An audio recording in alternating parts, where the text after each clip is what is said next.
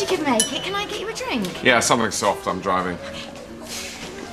Parking's an absolute nightmare around here, isn't it? Had to reverse into the tiniest of spaces. Still, I managed it. I mean, parking's not exactly brain surgery, is it? and I should know. Why is that? Are you a doctor? Careful. Not a doctor. I'm a brain surgeon. Big difference. Big difference.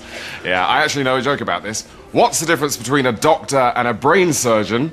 One's not exactly brain surgery, the other is brain surgery. um, so, uh, what do you guys do?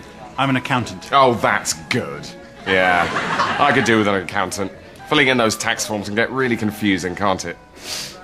Still, it's not exactly brain surgery, is it? I mean, brain surgery, believe me, is very complex.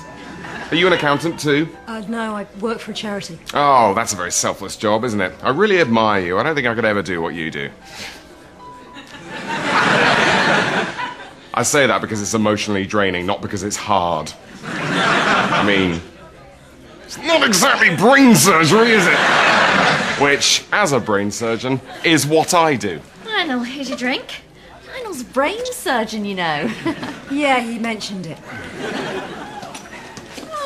Jeff, they keep you late at the Space Centre. As always. And this food rounder. Have you met Lionel? Uh, no, hello, Lionel. So, Jeff, how do you earn a crust? Uh, well, I'm a scientist. I, I work mainly with rockets. It's, it's, um, it's pretty tough work. Um, what do you do? Why, I don't mean to boast, but uh, I'm a brain surgeon.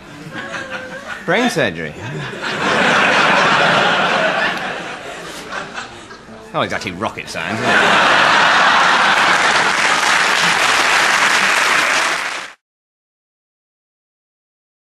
Leave me alone.